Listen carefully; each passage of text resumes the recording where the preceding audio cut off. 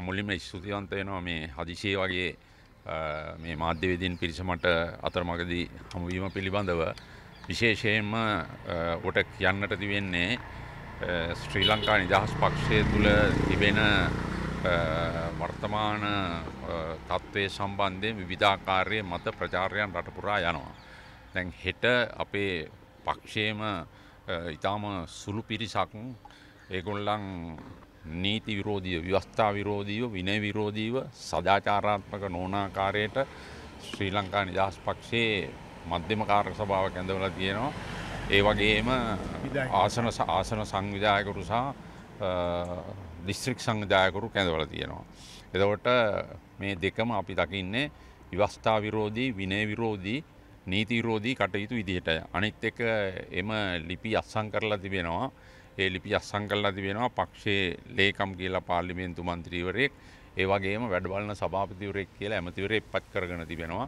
මම මේ පාර්ලිමේන්තු මන්ත්‍රීවරයෙක් වශයෙන් විශේෂයෙන්ම කතා කරන්නේ මං සභාපති විදිහට නෙවෙයි කතා කරන්නේ පාර්ලිමේන්තු මන්ත්‍රීවරයෙක් විදිහට හිටපු සභාපතිවරයා විදිහට මම පක්ෂ ව්‍යවස්ථාව සම්බන්ධයෙන් හොඳට මට අවබෝධයක් තිබෙනවා.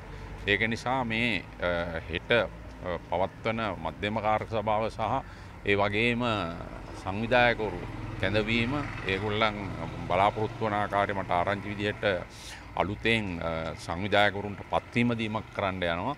ඒ සියලු දේවල් ව්‍යවස්ථා විරෝධී, නීති විරෝධී සහ සදාචාරාත්මක විරෝධී කියන එක බොහොම පැහැදිලිව කියන්නට ඕන.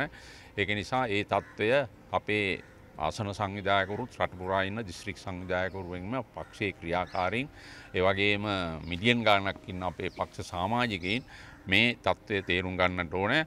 දැන් අපි කණ්ඩායම් එකක් විදිහට දෙකක් විදිහට විශේෂයෙන්ම අධිකරණයට ගිහින් තියෙන්නේ අධිකරණය දෙන ඕනෑම තීන්දුවක් අපි පිළිගන්නවා අධිකරණයේ තියෙන්නේ වාරණ්‍යයෝග තියෙන්නේ කිසිම නඩුවකින් අපිට අවසාන තීන්දුවක් දීලා නැහැ. ඒක නිසා ඒ වාරණ්‍යයෝග තිබෙන ආකාරයට ඒ නඩු ඉදිරියට යනවා. ඒ නිසා ඒ තත්ත්වයන් අනුව අපි අධිකරණයට ගරු කරලා අපි අපේ කටයුතු කරනවා. කොහෙත්ම අපි අධිකරණයට බාහිරව ඒ දෙන තීන්දු තීරණවලට විරුද්ධව අපි කිසිසේත් කටයුතු කරන්නේ අපිට යම් අවබෝධයක් තිබෙනවා මේ කටයුතු ගැන. ඒක නිසා මේ හෙට පවත්වන රැස්වීම් සම්පූර්ණයෙන්ම නීති විරෝධී සහ විවස්ථා විරෝධී සදාචාරාත්මක විරෝධී ඒ පත් කරගෙන තියෙන නිලධාරීත් සම්පූර්ණයෙන්ම විවස්ථානුකූල නැහැ නීති විරෝධී කියන එක ප්‍රකාශ කරන්නට ඕනෑ. දෙන සංවිධායකතුරලා නිලභාවයක් නැති වෙන දේ විදිහට.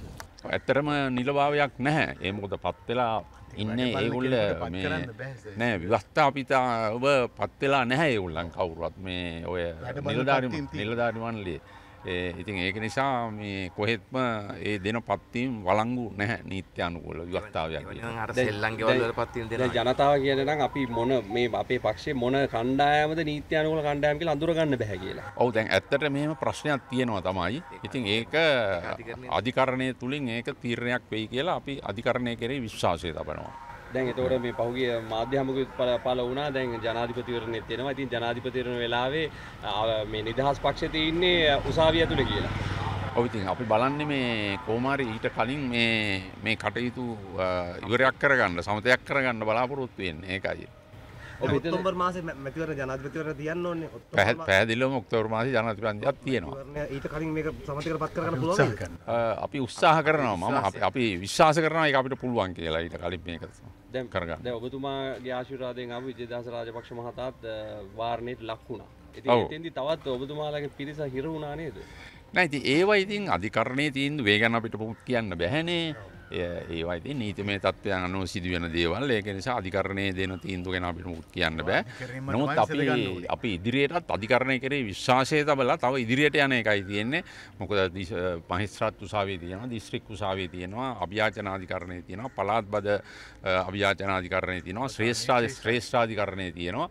ඉතින් ඒක නිසා අපි බලාපොරොත්තු වෙනවා පියවරෙන් පියවර ඒ විදිහට මේ ඉදිරි වැඩ කටයුතු කරගෙන යන්න. දැන් නිදහසට ලොකු චෝදනාවක් එන්නේ. ඒ කියන්නේ දුමින්ද දිසානායක නිමල්සිරි පාර මහත්තයා ඒගොල්ලෝ කියන්නේ ඔබතුමාලා විජේදාස රාජපක්ෂ මහත්තයා ලං කරගත්ත එක වැරදි කියලානේ. එතුමාට සභාපතිකම දුන්න එක වැරදි කියලානේ. ඒ කියන්නේ මොන අභියෝග ආවත් එතුමාව ඉවත් කරන්නේ නැද්ද?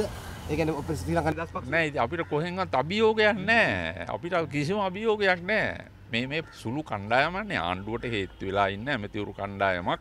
ඒගොල්ල ආණ්ඩුවට ගිය දවසේ ඉඳන් මේ මේ පක්ෂයේ වැඩකටයුතු අවුල් කරන එක තමා කරේ. ඉතින් ඒක නිසා ඒක අපිට අභියෝගයක් නෙවේ රටේ ජනතාව දන්න ඒගොල්ල අන්ඩුවත් එක් ඉන්න කියලා මැති ඇමතිකන්ගොට කෑදරකම ගිය කියලා. ඔබතුමාල්ලට අභියෝගයක් නොවෙන්න පුළුවන්. ඒනට එලව එලව එල වෙලා පහර දෙනව නේද? ඉතින් ඒක දේශ දේශපාලනය අපි අපිට හොඳර පුරුදුී දේශපාලනය. මම දැන් අවුරුදු පනස් පහක් දේශපාලනය එලවෙලෝ ගුටි කාලා හිරේ ඉඳලා බණ්ඩාරනායක මැතිරි ප්‍රජායිත්‍ය අවසි වෙච්චලා ඇති මාස තුනක් කිරේ හිටියා. ඉතින් ඒක නිසා මේ මට ඒවා පුරුදු වෙලා තියෙන්නේ එක. තුමාගේ සෙවනේ හැදිච්ච කට්ටියන මේ අය. ඒගොල්ලෝ මෙහෙම කරන දුක නැද්ද ඇත්තටම? ඇයි ඉතින් සමහර දරුවෝ තාත්තව මරන්නේ? අම්මයි තාත්තයි මරලා ඉඩම ලියාගන්නේ ඉතින් ඒක නිසා සමාජයේ තත්ත්වය ගැන ඒක නම් පුදු වෙන්න උනාවක් නැහැ. ඒතර මේක දැන් මේක මොකද්ද ඒතකොට මේ මේක මොන වගේ දෙයක්ද ඒතකොට? දැන් මේක මොන වගේ දෙයක්ද? සමහර පුත්තු තාත්තලා මරනවා ඉඩල් ලියා ගන්න. මේක මොකක් වගේ දෙයක්ද? මේකත් ඊට සමානයි තමයි. නමුත් ඉතින් මේ මේ කීප දෙනෙක් නෙමේ මේක මේ මිලියන් ගාණක් ඉන්න පක්ෂයක් නේ ආණ්ඩු දීර්ඝ කාලයක් වරින් වර ආණ්ඩු කරපු පක්ෂයක්.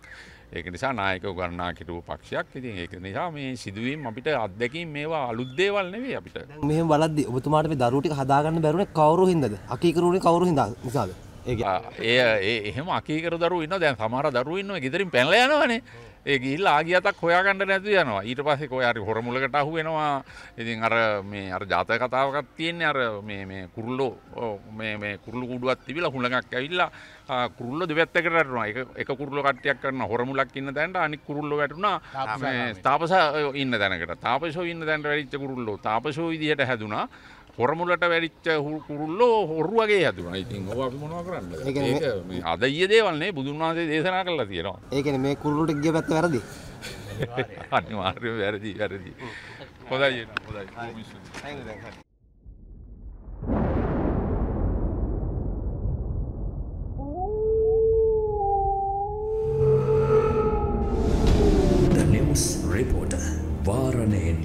අපක්ෂපාති වාර්තාකරණය.